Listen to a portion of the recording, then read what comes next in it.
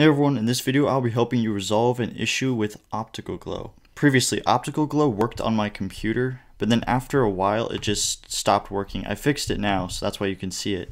But before I would apply Optical Glow and it wouldn't affect my layer at all. If your computer meets the requirements and it's still not working, there's actually a really easy process to fix this. What we're going to do is clear the plugin's OpenCL cache, and we're going to need to do this manually. So close down After Effects, go up to Go and select Go to Folder. Type in library slash application support and click Go. Then find the file com.redgiant.vfx.opticalglow-ae. Once you find this file, go ahead and delete it. After you're done with that, go ahead and open up After Effects. Then apply the Optical Glow plugin. If you did these steps correctly, you should have a perfectly looking optical glow. If you found this video helpful, please consider subscribing and give this video a like. Until next time, I'll see you later.